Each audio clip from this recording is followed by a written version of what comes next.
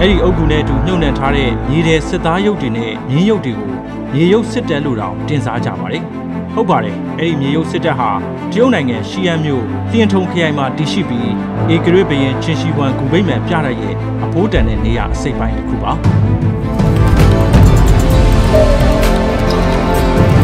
အားလုံးပဲမင်္ဂလာပါစူးစမ်းရှာဖွေကမ္ဘာအမွေအစီအစဉ်ကနေကြိုဆိုလိုက်ရပါတယ်ဒီတစ်ခေါက်တင်ဆက်ပေးမယ့်ကမ္ဘာအမွေနှစ်နေရာကတော့ တရုတ်ပြည်ပထမဆုံးဧကရစ်ချင်းရှီဝမ်ရဲ့အုပ်ကူရှိတဲ့နေရာပဲဖြစ်ပါတယ်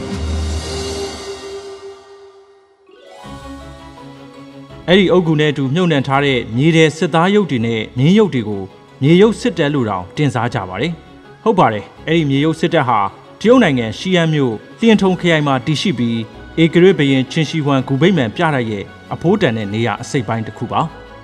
သူကရှီယန်ယဉ်ကျေးမှုအထင်ကရနေရာတစ်ခုဖြစ်တယ်လို့ ပထမဆုံးချင်းအင်ပါယာရဲ့ဂူဘိမှန်ဖြစ်ပြီး1989ခုနှစ်ဒီဇင်ဘာလ17ရက်နေ့မှာကမ္ဘာယဉ်ကျေးမှုအမွေနှစ်အဖြစ်သတ်မှတ်ခံခဲ့ရပါတယ်။ကျုံနိုင်ငံရဲ့ကမ္ဘာယဉ်ကျေးမှုအမွေနှစ်စီးရင်ဝင်ပထမအတုပ်ထဲမှာလည်းအဲ့ဒီနေရာကအကျုံးဝင်ပါတယ်။ BC 210လောက်ကထုလုပ်ထားတဲ့အဲ့ဒီမြေတဲ့ရုပ်ထုတွေကိုတရုတ်နိုင်ငံရှီယန်မြို့အနီးမှာနေထိုင်တဲ့လယ်သမားတဦးက1985ခုနှစ်မှာစတင်တွေ့ရှိခဲ့တာပါ။ အဲ့ဒီနေရာမှာတွေ့ရတဲ့စစ်သားရုပ်တွေဟာယာဒူးအလိုက်6ပေကနေ6ပေ9လက်မအထိမြင့်ပြီးစစ်သူကြီးရုပ်ထုတွေကတော့အရက်အမြင့်ဆုံးရုပ်တွေဖြစ်ပါတယ်။ရုပ်ထုတွေထဲမှာစစ်သားတွေမြင်းတွေစစ်ရထားတွေအပါအဝင်မူးကြီးမဲ့ရာတွေဂီတပညာရှင်တွေနဲ့စက်ကတ်သမားတွေလည်းပါဝင်ပါတယ်။လက်ရှိတွင်းကြီး၃တွင်းထဲမှာမြေတဲ့စစ်သားရုပ်ပေါင်း8000လောက်ရှာဖွေတွေ့ရှိထားပြီးစစ်ရထားအစင်130မြင်းအကောင်920နဲ့တန်ကြပ်ဝတ်မြင်းအကောင်150လောက်ကိုပါတွေ့ရှိထားပါတယ်။ ဒီရုပ်ထုတွေကိုကုန်းထိုက်ကြော်ရုပ်ဆိုတဲ့စောက်လုပ်ရေးဌာန၄ခုကနေတာဝန်ယူထုလုပ်ခဲ့တာဖြစ်ပြီးရုပ်ထုတိုင်းမှာဌာနတိုင်းရဲ့နာမည်အတူကောင်းတဲ့ထုလုပ်ခဲ့သူရဲ့နာမည်ကိုပါရိုက်နှိပ်ထားပါတယ်။စစ်တီရုပ်ထုပေါင်းထောင်ချီရှိသလိုရုပ်ထုတစ်ခုချင်းစီရဲ့မျက်နှာဟာလည်းမတူညီပါဘူး။တရုတ်လူမျိုးတို့မှာတွေ့ရလေးရှိတဲ့မျက်နှာအမျိုးအစား၈မျိုးကိုခြေခံပြီးတော့ထုလုပ်ထားတာဖြစ်ပါတယ်။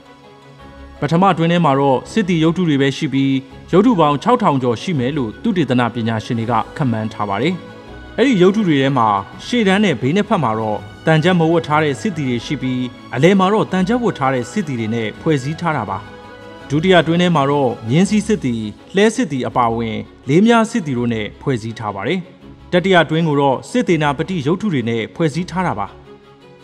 သူတို့ကိုထုလုပ်ရမှာခြေနှင်းကိုအရင်ပြုလုပ်ပါတယ် ခြေနှင်းအခြေခိုင်ပြီးတဲ့နောက်ခြေထောက်ခါကိုယ်တွေကိုတဆင့်ချင်းပြုလုပ်ပြီးဥကောင်းကိုတီးခြားပြုလုပ်တာပါ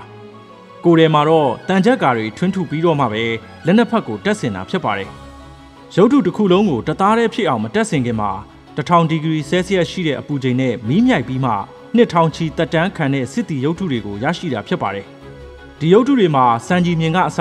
ဖနက်အောက်ခံပြအကွက်တွေအထိအသေးစိတ်မြင်တွေ့နိုင်မှာဖြစ်ပါတယ်။ စစ်တီရုပ်ထုတွေရဲ့မူရင်းအယောင်ဟာအခုအများမြင်ရတယ်လို့မျိုးရှင်စည်းရောင်မဟုတ်ပဲအယောင်အသွေးကအတော်ကိုဆုံးပါတယ်။နှစ်ထောင်ချီကြာအောင်မြေရီလေတို့ရဲ့တိုက်စားမှုတွေကြောင့်အယောင်တွင်းခဲ့ရပါတယ်။ရုပ်ထုတွေကိုပေါ်ကအယောင်တွေဟာအများအပြားသဘာဝတက်တုတွေကနေရယူခဲ့တာဖြစ်ပြီးဥမာအနေနဲ့ပြောရရင်တချို့ရောင်တွေကအမဲရောင်ဆိုရင်တစ်ကိုင်းကိုပြာချရာကနေရခဲ့တာဖြစ်ပြီးနီညိုရောင်ကတော့တန်ကြီးကနေရခဲ့တာပါ။အဖြူရောင်ကိုတော့တရိษံအယိုးကိုပြာချရာကရယူခဲ့ပါတယ်။ အယောင်တွေထဲမှာထူးခြားတာတစ်ခုကတော့တရုတ်ခရမ်းလို့ခေါ်ကြတဲ့ခရမ်းရောင်ကိုတော့သဲကြေးကြီးခဲအောက်ဆိုင်နဲ့ဗေရီယန်စာဖိတ်ကနေဓာတုဓာတ်ပေါင်းပြီးမှထုတ်ယူခဲ့တာဖြစ်ပါတယ်လူတော်တော်များများမသိကြတဲ့အချက်တစ်ခုကတော့တွင်းတွေရဲ့အောက်ခြေမှာအုတ်ချက်တွေစီထားတာဖြစ်တယ်လို့တွင်းသုံးခုပေါင်းလိုက်ရင်အုတ်ချက်ပေါင်း2,5000ပမာဏတောင်ရှိပါတယ်ချင်းရှိဝမ်ဂူဘိတ်မန်ဥယျာဉ်အလဲတဲ့တဲ့မှာရှိတဲ့ဧရိယာက တောင်မြောက်2180မီတာရှိပြီးအရှေ့နောက်990မီတာကျဲပါတယ်ချေရှိဝမ်ဧကရီရဲ့ဂူဘိမှန်ကတောင်တစ်ခုရဲ့သဏ္ဍာန်လိုဖြစ်နေပြီး350စတူယန်မီတာရှိကမီတာ90မြင့်ပါတယ်။အဲ့ဒီထဲမှာ26မီတာမြင့်တဲ့အထက်6ဆင်ရှိတဲ့ဆင်ရှိသလိုအဲ့ဒီဆင်ရဲ့အောက်မှာမှသူ့ကိုမြုပ်နှံထားတာပါ။သူတေသနာပညာရှင်တွေလေးလာခန့်မှန်းချက်အရဂူဘိမှန်ရဲ့အမိုးမှာရှိတဲ့နက်ခတ်တာယာတွေကိုကြောက်တံပဒံများတွေနဲ့စီချဲထားပါတယ်။သူ့အောက်မှာတော့ချင်းရှိဝမ်က တပေါင်းတစည်းတည်းဖြစ်အောင်ပြုလုပ်ခဲ့တဲ့တောတောင်ရေမြေတွေကိုပုံဖော်ထားပြီးမြစ်ချောင်းအင်းအိုင်တွေကိုတော့ဗဒါးရည်တွေနဲ့ဖော်ကျူးထားတယ်လို့ဆိုပါတယ်။တမိုင်းမှတ်တမ်းတွေအရဂူထဲမှာဝေလ9စီဒါမှမဟုတ်ရေပုတ်တင်စီနဲ့မီးထွန်းညှိထားတယ်လို့ဖော်ပြထားပါတယ်။ဂူရဲ့အနီးမှာတော့ချင်းရှီဝမ်ရဲ့နန်းတော်ပုံတူကိုပါထည့်သွင်းတိစောက်ထားပြီးချင်းရှီဝမ်ဂူဗိမ္မာန်ဥယျာဉ်အတွင်းမှာတွင်းပေါင်းအခု200ကျော်ရှိပါတယ်။ချင်းရှီဝမ်ရဲ့ဂူဗိမ္မာန်ဥယျာဉ်ဟာဂူဗိမ္မာန်တစ်ခုထက်စာရင်မြို့တစ်မြို့နဲ့ပိုတူနေပါတယ်။ သူဟာသူ့ရဲ့တိုင်းပြည်အုပ်ချုပ်ရေးစနစ်အတိုင်းမူးမတ်အရာရှိတွေရဲ့ရုပ်ထုတွေကိုပါထုလုပ်မြုပ်နှံခဲ့တာဖြစ်ပါတယ်။စစ်တီရုပ်ထုတွေကိုအမျိုးအစားခွဲပြီးတွင်းသုံးတွင်းနဲ့မြုပ်နှံခဲ့တယ်လို့မူးမတ်အရာရှိအဆင့်12ခုကိုလည်းရုပ်ထုကိုစားပြုတစ်ခုစီနဲ့ထုလုပ်မြုပ်နှံခဲ့ပါတယ်။စာပေအမတ်တွေရဲ့ခါမှာဓားတို့တစ်ခုရှိပါတယ်။ဝါပရပိုက်မှာမှားရမိရင်မှားသွားတဲ့ဆက်လုံးကိုဓားနဲ့ချစ်ပြီးဖြတ်ဖို့ပါ။ချင်းရှီဝမ်ခင်မှာတရုတ်တပြည်လုံးကစာပေတွေကိုတသားတည်းဖြစ်အောင်လုပ်ခဲ့တဲ့အတွက် လွန်ခဲ့တဲ့နှစ်2000ကသမိုင်းမှတ်တမ်းတွေကိုယနေ့ခေတ်လူတွေပြန်လေ့လာရမှာအခက်အခဲမရှိဖတ်ရှုနားလည်နိုင်ခဲ့ပါတယ်။တခြားတွင်းထဲမှာဂျိုးကြာဘဲငန်းစတဲ့ကျေးရုပ်ထုတရိတ်ဆန်ရုပ်ပေါင်း46ခုနဲ့ဒုရိယာတီးခတ်နေတဲ့ရွှွရုပ်ထုတွေတွေ့ခဲ့ပါတယ်။ဒါဟာချင်းမင်းဆက်ခေတ်ကတရိတ်ဆန်တွေကိုရင်ပါအောင်လေ့ကျင့်ပေးပြီးတေးဂီတနဲ့ဖျော်ဖြေတဲ့ဖျော်ဖြေမှုတစ်ခုပါ။နောက်တွင်းတစ်ခုမှာတော့စက်ကက်ကပြဖျော်ဖြေဟန်ရုပ်ထုတွေ30ကျော်ကိုတွေ့ရှိခဲ့ပါတယ်။အဲဒီအထက်ကရုပ်ထုတစ်ခုမှာတော့ ထုလုပ်ခဲ့တဲ့လုပ်သားရဲ့လက်ဝေကိုပါတွေ့ရှိခဲ့ပါတယ်။ချင်းရှိဝမ်ဟာသူတိုင်းကန်းလှည့်လည်တဲ့နေရာမှာအသုံးပြုတဲ့မြင်းလေးကောင်ဆွဲတဲ့မြင်းရထားရင်နှစ်စီးကိုလည်းကျေးသွန်းထုလုပ်ခဲ့ပါသေးတယ်။မြင်းကောင်းကိုဆွဲတဲ့ကြိုးတွေကရွှေနဲ့ငွေကိုတဆစ်စီချားပြီးလှုပ်ထားတာပါ။ချင်းရှိဝမ်ကုပိမန်ဥယျာဉ်ကမြို့တစ်ခုနဲ့တူနေုံနဲ့မက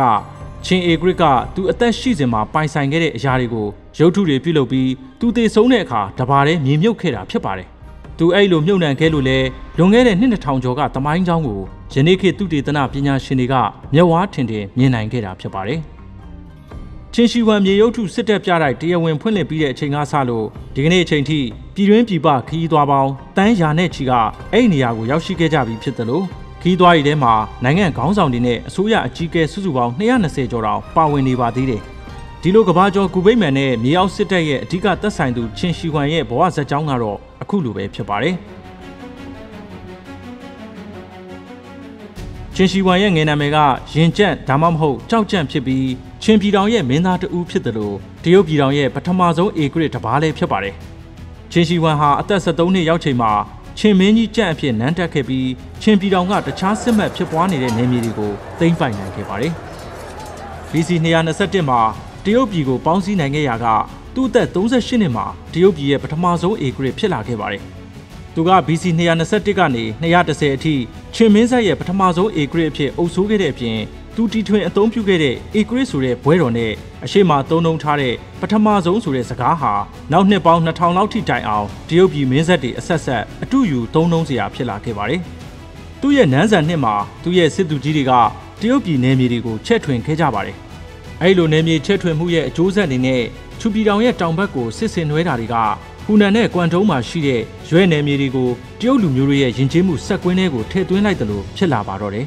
။အာရှလယ်ပိုင်းမှာစစ်စင်ထွဲမှုတွေကအော်တိုပတ်လန်းကိုရှုံးလူတို့ထံကနေသိမ်းယူနိုင်ခဲ့တယ်လို့အဲ့လိုပြုလုပ်ခဲ့တာကြောင့်ရှုံးလူတို့ကမိုတူချန်ယူရဲ့အုပ်စိုးမှုအောက်မှာခိုလုံရင်းစုစည်းမိခဲ့ကြတာဖြစ်ပါတယ်။ချင်းရှိဝမ်ဟာသူ့ရဲ့အမတ်ကြီးလီစီနဲ့အတူအဓိကကျတဲ့စီးပွားရေးနဲ့နိုင်ငံရေးနဲ့ပတ်သက်တဲ့ပြည်ပြင်ပြောင်းလဲရေးဆိုင်ရာဥပဒေပြဋ္ဌာန်းမှုလှုံ့ဆော်ခဲ့ပါတယ်။ အဲ့လိုလှုံ့ဆော်ခဲ့တာကရှေးတရုတ်နယ်မြေအသီးသီးမှာကျင့်သုံးခဲ့တဲ့အလေးထားတွေကိုတညီတညွတ်သေးဖြစ်စေဖို့ရည်ရွယ်ခဲ့တာလည်းဖြစ်ပါတယ်။ချင်းရှီဝမ်လက်ထက်ဆွမ်းဆောင်မှုတွေကအမျိုးမျိုးရှိခဲ့ပါတယ်။သူကပြည်နယ်တွေအနှံ့ပြန့်ကျဲနေတဲ့တတိုင်းတွေကိုတရုတ်ပြည်ရဲ့မဟာတတိုင်းကြီးတစ်ခုအဖြစ်စူးစီးစေခဲ့တဲ့အပြင်ကြီးမားလာတဲ့နိုင်ငံတော်အဆင့်လမ်းမကြီးတွေဖွဲ့စည်းနိုင်ခဲ့ပါတယ်။တရုတ်ပြည်နယ်နိမိတ်ကိုအဖက်ဖက်ကချက်ထွင်ဖို့ကြိုးပမ်းခဲ့ရာကတောင်ဘက်မှာဇက်တိုက်သိမ်းသွင်းအရယူထားနိုင်ခဲ့ပေမဲ့အနောက်ဘက်နဲ့မြောက်ဘက်မှာတော့အခြေကုပ်မယူခဲ့နိုင်ပါဘူး။ အဲဒီနောက်အနောက်ဘက်နဲ့မြောက်ဘက်တကြောမှာရှိတဲ့ရန်သူတွေရဲ့ရန်ကနေကာကွယ်ဖို့ Great Wall ဆိုတဲ့ကမ္ဘာကျော်မဟာတတိုင်းကြီးကိုတိစောက်ခဲ့ပါတယ်။ဒါတွေအပြင်သူ့လက်ထက်မှာရခင်ကျိုးမင်းဆက်လက်ထက်တုန်းကလိုမျိုးဗဒေသရစ်တွေပြန်လဲအားကောင်းလာမှာကိုမလူလားတာကြောင့်ပြုပြင်ပြောင်းလဲရေးတွေလုပ်ခဲ့ပါတယ်။အဲ့ဒါကတော့နေစားနဲ့ဘရင်ခံတို့ကိုတနေ့တည်းမှာအတိတကျမထားဘဲအလှည့်ကျရွှေ့ပြောင်းစေသလိုသူတို့ရဲ့မိသားစုတွေကိုလည်းနေပြည်တော်မှာခြံရစ်စီခဲ့ပါတယ်။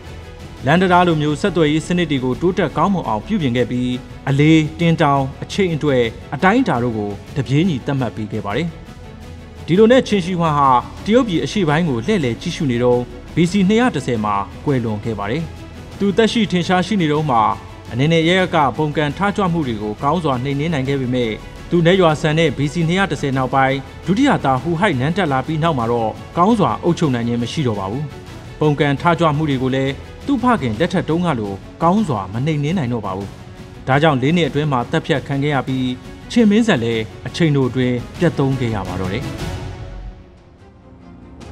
ဒီလိုမျိုးတရုတ်နိုင်ငံရဲ့တမိုင်းဖြစ်စဉ်တွေနဲ့ဆက်ဆက်နေတဲ့အပြင်ကမ္ဘာအမွေနဲ့ပြရုပ်တီထဲမှာအရေးပါတဲ့နေရာတစ်ခုအဖြစ်မှတ်တမ်းဝင်နေတဲ့တရုတ်နိုင်ငံရဲ့ရှေးခေတ်တမိုင်းကြောင်းဆိုင်ရာမြေအောက်စစ်တပ်နဲ့ချင်းရှီဝမ်ရဲ့အကြောင်းကိုဒီစီစဉ်လေးကနေအခုလိုပဲတင်ဆက်ပေးလိုက်ရပါတယ်ခင်ဗျာ။